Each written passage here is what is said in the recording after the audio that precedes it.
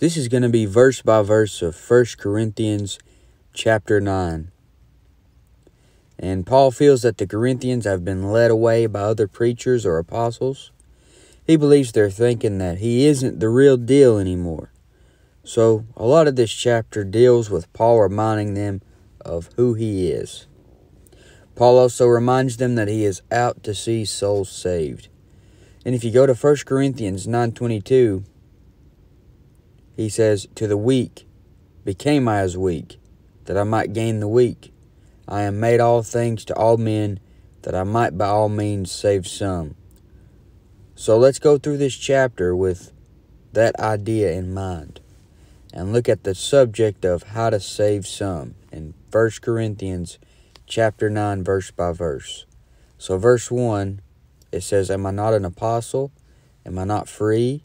Have I not seen Jesus Christ our Lord? Are not ye my work in the Lord? So, number one, show someone you have been with Jesus Christ. Paul said, Have I not seen Jesus Christ our Lord? If you're going to save some, then let them see that the Lord Jesus Christ has made a difference in you. Paul said, Have I not seen Jesus Christ our Lord? In the book of Acts, chapter 4 and verse 13, it says, Now when they saw the boldness of Peter and John, and perceived that they were unlearned and ignorant men, they marveled, and they took knowledge of them that they had been with Jesus. So lost men aren't really impressed with how much you know about the Bible.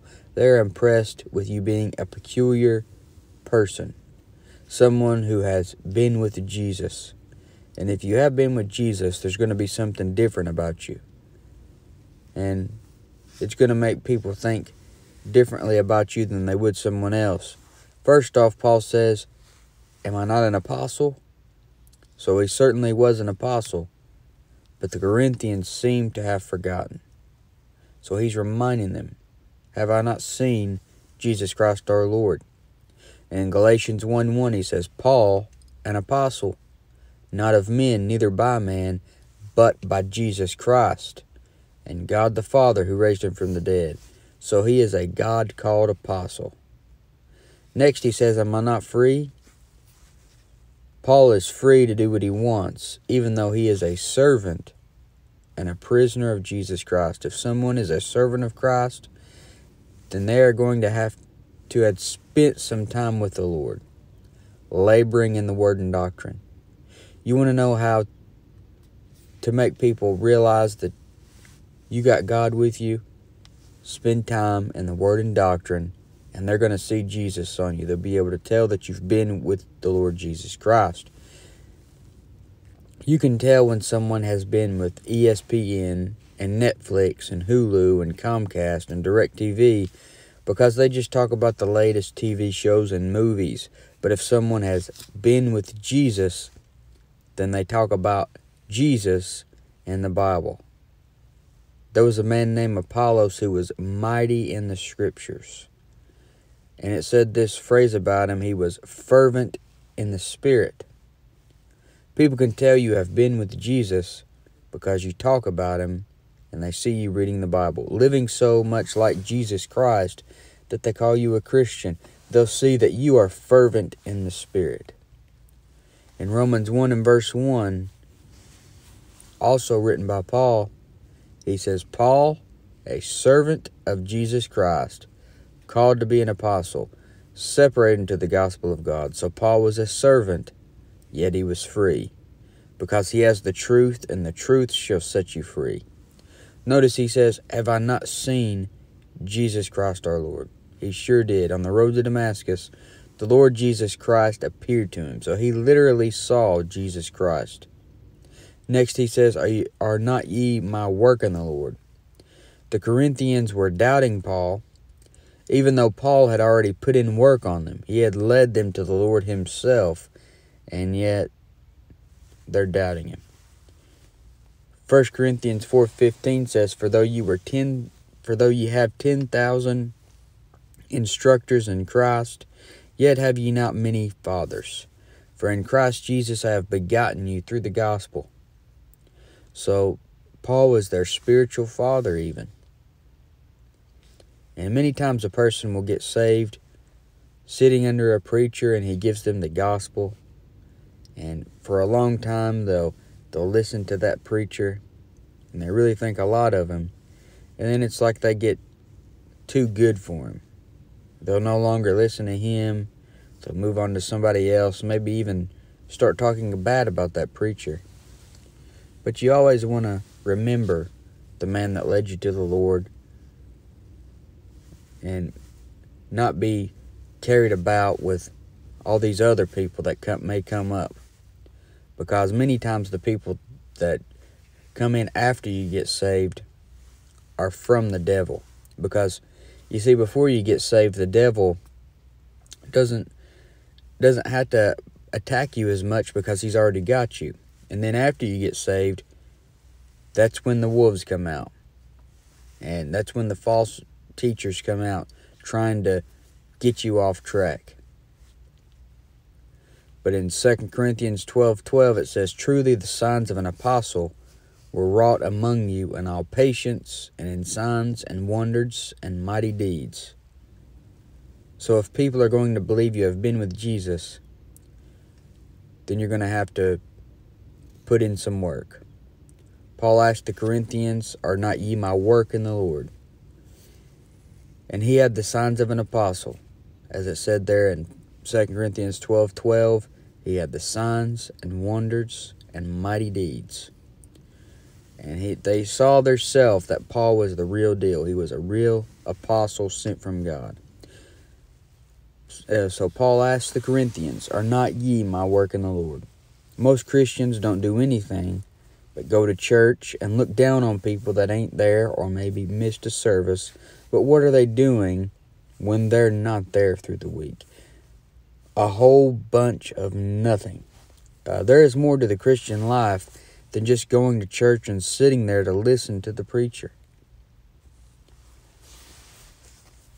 1 Corinthians 9 2 If I be not an apostle unto others, yet doubtless I am to you. For the seal of mine apostleship are ye in the Lord. The Corinthians themselves are proof that Paul is an apostle.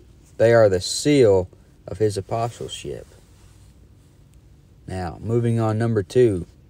If you're going to save some, then handle your haters graciously. In verse 3, it says, Mine answer to them that do examine me is this. So Paul had some people examining him. He had haters trying to find some uncleanness in him 24 hours a day. You see, today, when a preacher or a teacher gets a good following from people, you'll have some men who sit back and examine the man and they begin to find fault. Mark 7 2 talks about fault finding Pharisees. That's exactly what they are, is just a bunch of Pharisees. But just be nice to all your critics. You've got a bunch of haters, just be nice to them. If a lost man sees how you handle your enemies, then this can cause him to see something different about you. This can cause him to see the Lord in you and could eventually cause him to want to be a Christian himself. In 1 Peter 2 21 through 23, it says, For even hereunto were ye called, because Christ also suffered for us, leaving us an example that ye should follow his steps, who did no sin, neither was guile found in his mouth, who when he was reviled, reviled not again. When he suffered, he threatened, threatened not, but committed himself to him that judgeth righteously. So Paul had some men who would examine him, trying to find fault. And Paul says in verse 4 Have we not power to eat and to drink? Paul's at liberty to eat and drink what he wants. Then he says in verse 5 Have we not power to lead about a sister, a wife, as well as other apostles, and as the brethren of the Lord and Cephas? Paul is at liberty to take a wife if he pleases, when it says sister here, it's referring to a born again woman who would be your sister in the Lord. So if your wife is saved, then she is not only your wife, but she is your sister in the Lord. And Paul says he has the power to do this as well as other apostles. For example, we know that Cephas, which is Peter, was married. In verse 6 it says, Or I only and Barnabas have not we power to forbear working? Paul and Barnabas could have completely relied on living off their ministry. Paul was a tent maker, according to Acts 18, and he could have never made another tent and let the sheep keep him up. However, he worked anyway. Paul could eat and drink what he wanted. He could, he had liberty, but he didn't because he didn't take people's money because he didn't want his liberty to be a stumbling block. He also didn't want anyone saying he was doing something he shouldn't. So he wasn't one of those people that went around begging for money. And one way to handle your fault finders is to not do anything in front of them that might appear evil, even if it isn't evil. Paul had fault finders, and he knew that if he went around telling people he needed their money, then they're going to make something out of that. They're going to find fault. So Paul just didn't do it. But the main thing Paul was being accused of by some examiners is that he was in it for the money. He was being accused of that. He could have taken money for the ministry, but he paid his own way. Now, verse 7 Who goeth to warfare any time at his own charges? Who planteth a vineyard, and eateth not of the fruit thereof? Or who feedeth a flock, and eateth not of the milk of the flock? He says, Who goeth to warfare any time at his own charges, meaning a soldier doesn't have to have a full time job when he is over there fighting a war. Someone else is going to keep him up. A vine dresser plants a vineyard and eats up his own fruit. A shepherd eats the milk of the flock. The ministry is like warfare. You're a soldier in the Lord's army. It is like being a vine dresser. Paul said, I have planted, Apollos watered, but God gave the increase. And Paul is also a shepherd, he feeds the sheep. So Paul has every right to demand material things to be given in return for feeding the Corinthians because his job as a minister is like these other occupations that people receive money for. And people think that, well, their pastor has it made and he only has to work on Sunday morning, Sunday night, and Wednesday night. But there's so much more to it than that.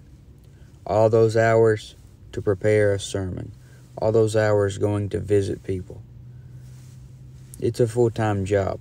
And here a verse is showing how the ministry is like being a soldier and a shepherd and a husbandman or farmer. So 2 Timothy 2 3 through 4 says, Thou therefore endure hardness as a good soldier of Jesus Christ. No man that warreth entangleth himself with the affairs of this life, that he may please him who hath chosen him to be a soldier. So if you're a Christian and you're in the ministry, it's like you're a soldier. In 1 Peter 5 2 through 4, it says, Feed the flock of God which is among you, taking the oversight thereof not by constraint, but willingly, not for filthy lucre, but of a ready mind, neither as being lords over God's heritage, but being in samples to the flock. And when the chief shepherd shall appear, ye shall receive a crown of glory that fadeth not away. So there it's like being a shepherd. And then in 1 Corinthians 3 8 through 9, says, Now he that planteth and he that watereth are one and everyone shall receive his own reward according to his own labor. For we are laborers together with God. Ye are God's husbandry, ye are God's building. So there it's compared to being like a farmer or a husbandman. So some tips to save some is to be a worker. And that doesn't mean if you're a pastor you must have a secular job. Being a pastor is also hard work if you do it. If you do it correctly and people can see that. Also, you need to prove to people that you don't need their money. I don't need anyone's money to put these studies out. I don't need anyone's money to study. I don't need anyone's money to post these studies on here. But you see all these guys going around constantly begging for people's money, constantly taking up offerings, constantly talking about how they need money for the ministry which is fine if they accept money. And Paul says, if you preach the gospel, you live of the gospel. but constantly talking about how they need money for the ministry over and over and over. It makes you start thinking, how much money does a man really need anyway? Paul just wasn't one of those who was constantly after someone's money. He thought it was good and right to give to your preacher, but he didn't act like he just had to have it, you see. And you don't want to get yourself in such a mess where you just have to have everyone's money to stay doing what you're doing. Now, verse 7 Who goeth to warfare any time at his own charges? Who planteth a vineyard, and eateth not of the fruit thereof? Or who feedeth the flock, and eateth not of the milk of the flock? Say I these things as a man, or saith not the law the same also? So Paul is it saying on his own that a minister should be supported. The law also says it. it. says in verse 9, For it is written in the law of Moses, Thou shalt not muzzle the mouth of the ox that treadeth out the corn. Doth God take care for oxen? So the ox is allowed to eat the corn on as he works. He's allowed allowed to eat he can put his head down and eat it. So you shouldn't stop a man who labors in the word and doctrine from getting carnal things for his labor. And you have another extreme where people are against someone in the ministry getting money and they'll teach against that. But as it says in Deuteronomy 25 4, thou shalt not muzzle the mouth of the ox, thou shalt not muzzle the ox when he treadeth out the corn. The Lord didn't want them putting something on him to keep him from eating. So he says, Thou shalt not muzzle the ox when he treadeth out the corn. So you shouldn't just go around begging for money all the time when you're in brand new suits and brand new cars and brand new bus, brand new everything. What do you think that does for the lost man's mind when he sees you up there dressed like a rich man and you're still talking about getting an offering and you have PayPal donation buttons all over your website right there front and center before you see sermons, before you see statement of faith, before you see contact, before you see the about page, you see a big PayPal donation button right there on the website, front and center. How much money does a man really need anyway? You don't want to take it so far.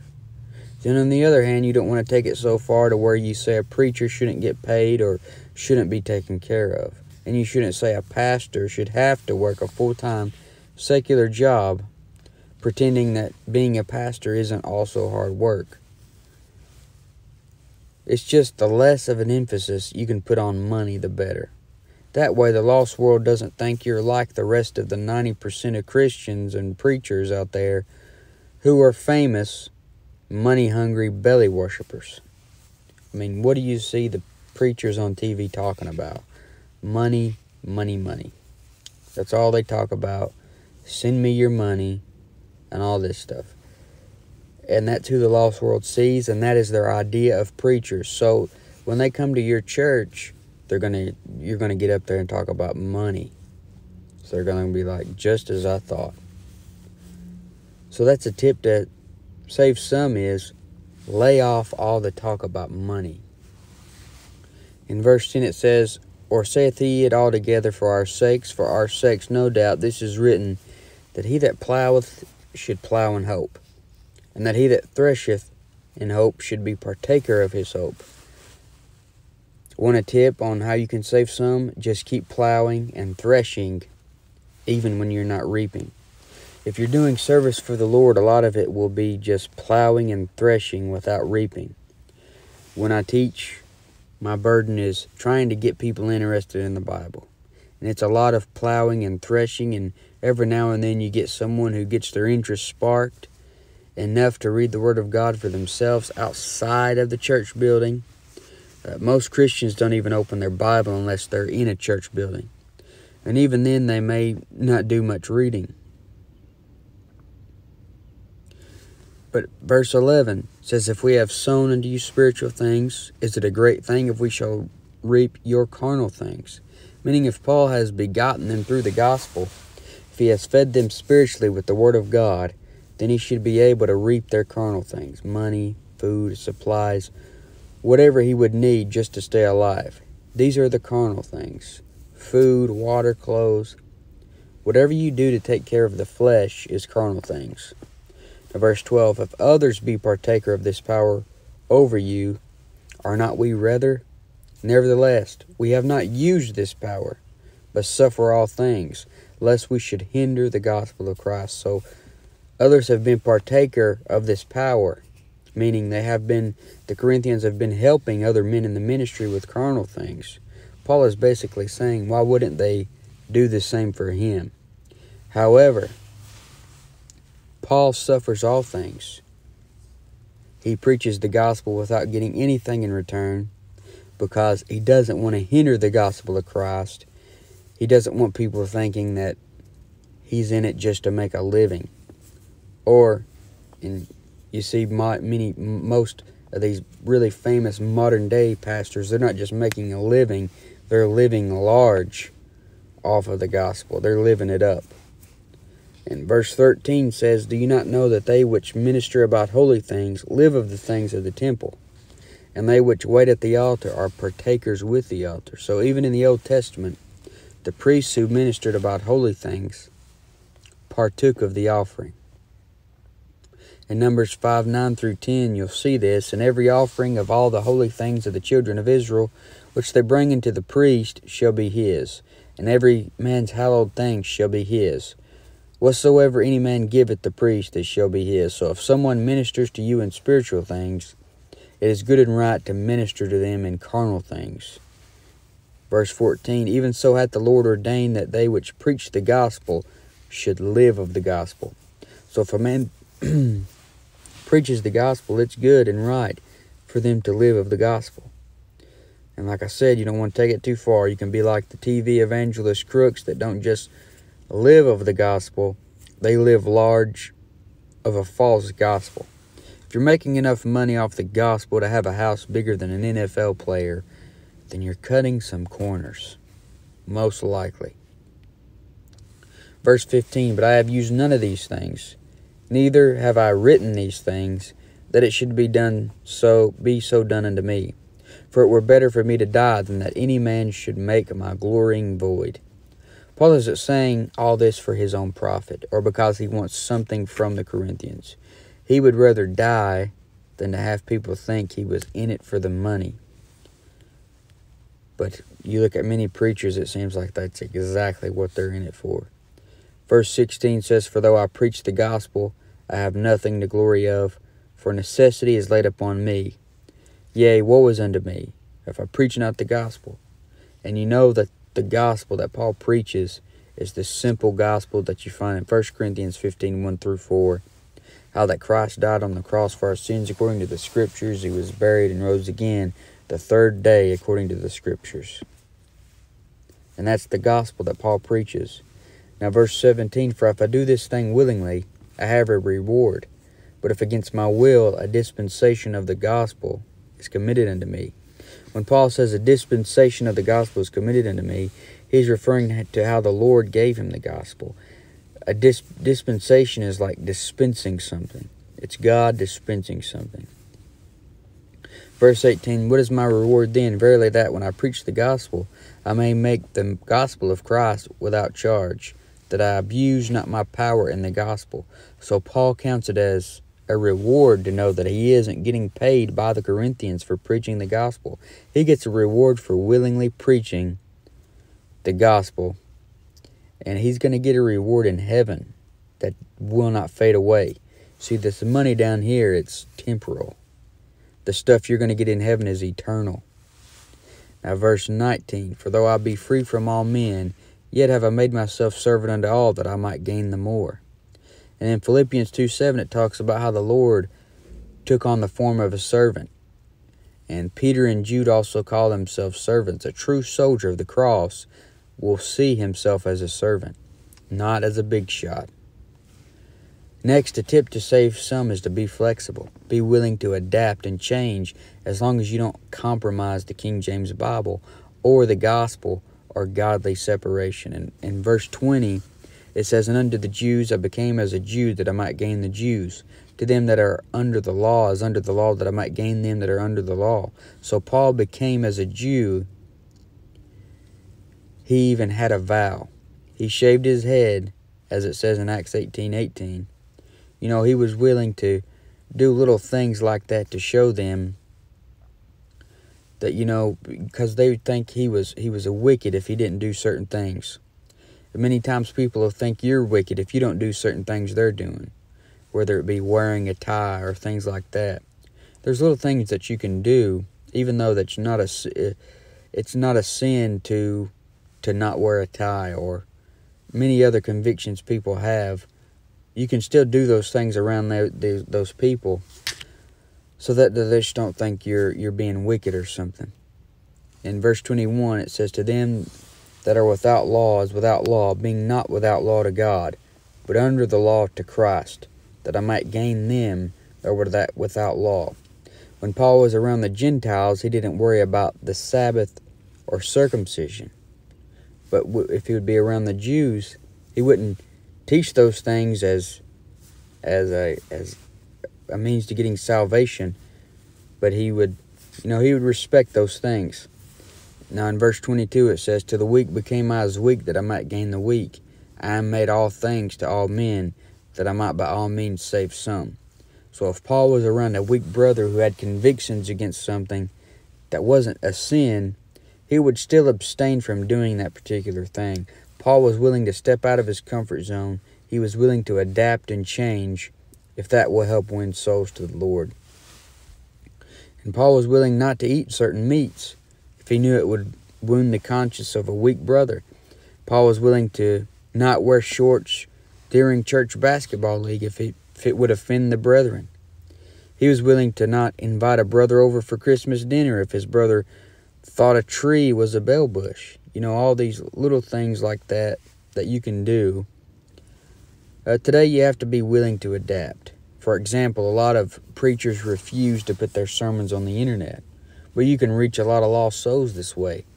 A lot of them put them on the internet, but will charge $8 a sermon or something like that, when it is completely free to put this stuff out there on the internet because it doesn't really cost much money or any money at all if you like put it on YouTube. So you know, you want to adapt and change. Now, you don't want to take it to another extreme. You don't want to become as a rapper to win the rappers. You don't want to become as a headbanger to win the rockers. You don't want to start doing something sinful to win the lost. You can't save someone by participating in what has been keeping them down to start with. But a lot of people do that. A lot of Christians act like the sinful world to get a following from the sinful world. They aren't really doing it to win the lost, though, even though they may think they are. Paul made himself all things for all men for the gospel's sake. Now, verse 23 and 24 And this I do for the gospel's sake, that I might be partaker thereof with you. Know you not that they which run in a race run all, but one receiveth the prize, so run that ye may obtain. If you're a Christian, then you are running to win. Verse 25 says, And every man that striveth for the mastery is temperate in all things. Now they do it to obtain a corruptible crown, but we an incorruptible. If you're a track star, then you're running to win a trophy that will fade away. If you're in the NBA, you're playing for a ring that will burn one day. All Bill Russell's rings will be non existent. But you, if you're a Christian, then your crown will be an everlasting crown. And as a tip to help you save some, stay motivated in your race by remembering you're running for an incorruptible crown and not a corruptible crown, like all the athletes of the world are running for. Verse 26 and 27 I therefore so run, not as uncertainly, so fight I, not as one that beateth the air, but I keep under my body and bring it into subjection, lest that by any means, when I have preached to others, I sh- myself should be a castaway. So, as a tip to help you save some, you need to keep your flesh in check. You need to make sure you have your body in subjection. If you're living in sin and doing things that are sinful, then it isn't in subjection. If Paul started living for the world, then he would be a castaway and his ministry would be almost ineffective. So if you're going to save some, You need to act right in front of the lost world. Quit cussing. Quit telling dirty jokes. Quit laughing at the dirty jokes. Be an example. When you go to work, pull your Bible out and start reading it. Be an example to the lost world. This is going to help you save some. But this has been 1 Corinthians chapter 9 verse by verse.